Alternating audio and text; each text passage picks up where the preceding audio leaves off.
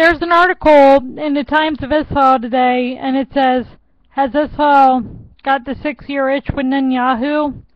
And one of the things that it says is that a lot of people, and I'm going to put this in basically my own words, but a lot of people, and it's also in another Times of Israel headline or a Jerusalem Post headline or something along those lines, but they say like they really don't like Netanyahu, but they feel like okay, well he's the incumbent, so we might as well go with the incumbent as opposed to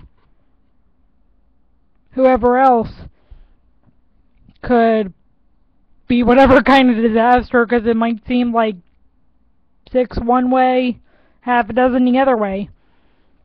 So, you gotta ask yourself, would you rather have what's basically history repeating itself, or would you rather give a chance for Israel to actually adhere to the Declaration of Establishment? And a lot of Israelis, or, well, yeah, including those of us in the diaspora, but a lot of Israelis who are in the land have hopefully been watching Israelis in the diaspora and learning that voting for the incumbent has not worked for many of us, including for those who voted for Obama. I didn't vote for Obama. I voted for McCain and Romney. Still, I think a lot of people have gotten tired of voting for the incumbent. I don't know whether you call that incumbent syndrome, incumbent consistency, whatever you call it. The point being, just because Netanyahu's the incumbent doesn't mean that you have to go with what's there. And even an example reaching back to the 30s and 40s, since many compare this time to the 30s and 40s, it's like when people kept voting for FDR. The Depression got worse. The Holocaust, as if the Holocaust wasn't bad enough, got worse, and then the whole St. Louis incident, for lack of a better term, came up.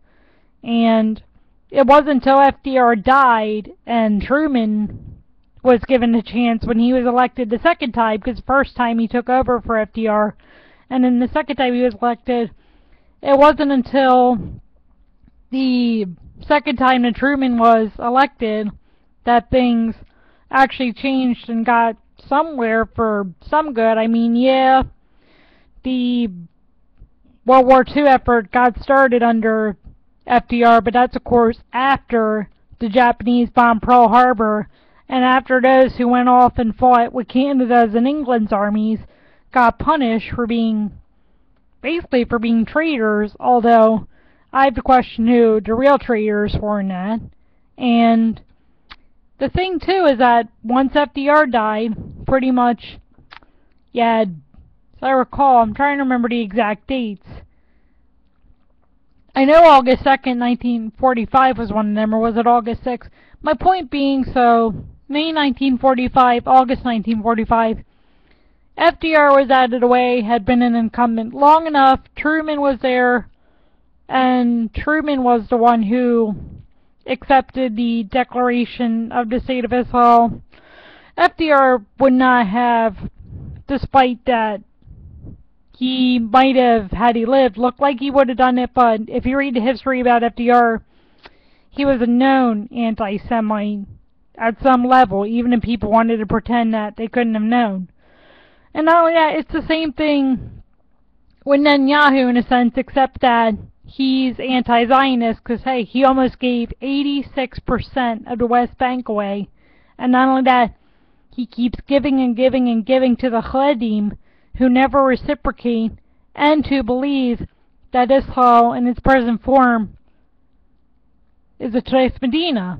So, just think about that before you resign and say, oh, because Netanyahu's the incumbent, and we don't know who could take over Netanyahu's position, we might as well vote for the incumbent. So, for lack of a better term, you don't have to give in to incumbent syndrome or incumbency syndrome really vote for someone who's going to hold to the Declaration of Establishment and who's not going to give the Haredim their way every time. And by the way, Netanyahu apparently did a really jerky ad called The Bibisitter, apparently that's what he wants to be to the Haredim. He wants to be the babysitter slash the babysitter instead of making the Haredim get off their tukuses and do something for Israel.